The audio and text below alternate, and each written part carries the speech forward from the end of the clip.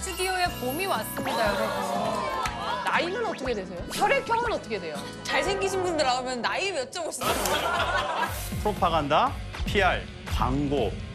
아, 저는 소통 것을 연구하고 학생들을 가르치고 있는 이종혁이라고 합니다. 필요해서 산다기보다는 남들 다 하니까. 내 왜 하고 있지? 이 시간에도 대중은 속기 위해서 태어난다. 에드워드 버네이즈를 현대 PR의 아버지다. 역사상 최악의 프로파간다. 개벨스죠.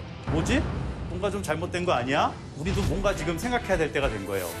우리의 세상을 바꾼 캠페인입니다. 많은 사람들이 좀 공감할 수 있다면 내가 생각하는 것 이상으로 더 좋게 바뀔 것이다. 진짜 좋은 것 같아요. 내가 뭔가 주도가 돼서 선한 캠페인을 만드는 소통을 통해서 음, 사람들의 행동을 변화시켜야 되는 거죠.